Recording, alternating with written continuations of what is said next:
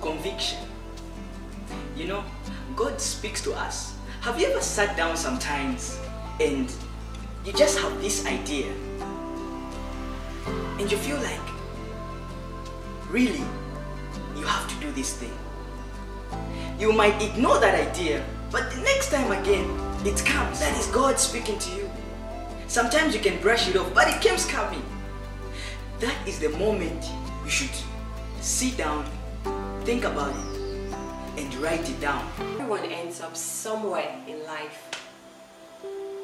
But only people with a vision end up somewhere on purpose.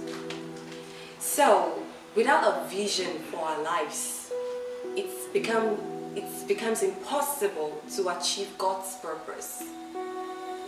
God speaks to us through His Spirit by giving us giving us certain thoughts relating to our concerns. And that is how we are able to know the will of God for our lives. It takes time. But those same persistent thoughts, that imagination, through planning and action, you're going to realize that you're having a burning desire. And that burning desire is passion. Passion is when you come to a position where you realize that it is something bigger than you. Something that you cannot even accomplish on your own. Looking at it and even wondering, what am I doing? There is a vision born. There is a purpose in revelation. Think about it. You know, many times people have had ideas. People have imagined, but ending, ending on imagination, that is merely dreaming. When you imagine and you write down something, then we have a visionary. But look at the graves. We have a lot of eh, visionaries who've written things down. But those things have left to remain as papers. But when a visionary becomes a missionary, there we have a purpose and the man who's going to change the world. Meaning action. It is not enough to know, you need to act on the revelation. And purpose is not self centered. Purpose deals with concerns, humanity. There's a lot of things going on around, and God has placed in our hearts, based on the way He's created us, certain things that attract our attention. And if you focus fully, you're going to realize that you're going to re- realize your purpose by pursuing that desire. Plan prayerfully, pursue persistently to accomplish the vision that God has given you. But always knowing that God is the author and He is the finisher of the vision. Now, why is vision important? Vision is very important because, to be honest, before my life was aimless, before I had no purpose. In fact, I can say that I had a purpose because I was pursuing education, because I was pursuing to have a comfortable life. But I had no purpose because it, we could say, for lack of better terms, like it was purpose in the wrong direction. You, do you know that you can have a lot of good intentions, but for the wrong thing? That is manly wisdom, but manly wisdom is foolishness to God. So, I'm challenging each and every one of us today to pray to God. But don't just end on prayer. You need to think. God has given you a mind. We are not robots. Just end on prayer. You need to think. God has given you a mind. We are not robots. God had put the potential in Peter to walk on water, but he doubted. Do you know that he could have walked on water? But he doubted.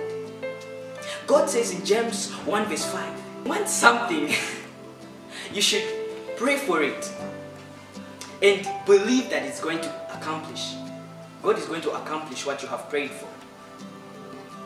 Now, I just want to talk about faith,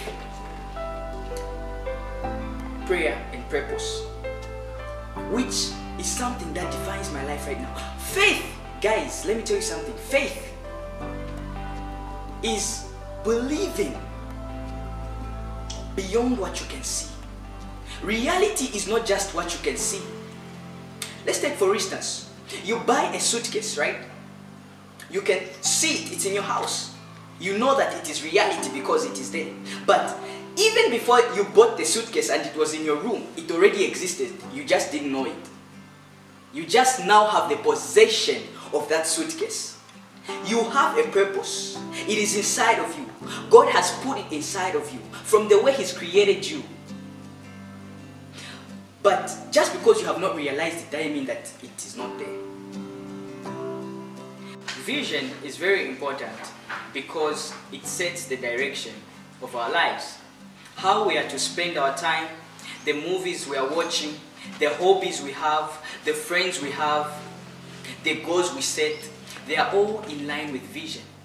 You see, life is very boring, without passion because we are not really pursuing something that is beyond ourselves. But when you discover that thing that is beyond yourself, that is not just worth living for but dying for. Because once you accomplish your purpose, even when you die, it will forever be there because it is not yours, it is God's will. And God's will is the same yesterday, today, and forever. We are just there to accomplish it in different phases of life. So, vision is important because it is a source of discipline. Just as the Bible says in Proverbs that where there is no revelation, the people cast off restraint. You can be sleeping the rest of your time just because the exams are done, because there is no vision. You see? But with vision, it chooses your future. With vision, you, it chooses your priorities, your use of time, your reading material, how to use your energy, and all those kind of things. And with vision comes joy. With vision comes fulfillment. With vision comes inspiration. And with vision, we are able to realize that the hand of God is in all, is in all things. Even the minor opportunities that we may not see God working, God is actually there. And we appreciate how who God is. I just want to encourage us today as we think about our vision. Let's pray and believe that God has us on this earth for a specific purpose. We are not here to occupy a space. We are not here for ourselves. We are here for God. We are here so that His glory will become manifest in our lives. So, as we think about it, do you think that you don't have a vision? You're wrong. God wants you to discover that vision that He has for you. He wants you to know that He is the only one that truly cares about you. Sometimes we think our vision for our lives is much more better than what God wants us to do. Maybe we think, oh, vision has to do with being an evangelist, a vision has to do with being a, a prophet and all that. No, we can have a vision for every area of our lives. You can have a vision for your education, a vision for your family, a vision to have godly children, a vision to have a, a good partner. And all this requires preparation through the Word of God. And by the help of the Holy Spirit, nothing is impossible. The Bible says that with God, all things are possible. So I want to encourage you today to pray for God to reveal to you your vision. Because the vision that you have will set a direction for your life. It helps you to focus on what God wants you to do. A lot of good things that we have around us could be obstacles to what God wants us to do. Sometimes we Christians, we only think about the bad things we're not doing. How about the good things you're doing that are taking your time from what God wants you to be focusing on right now? You see, the Bible says that everything, you know, is good, but not all things are beneficial.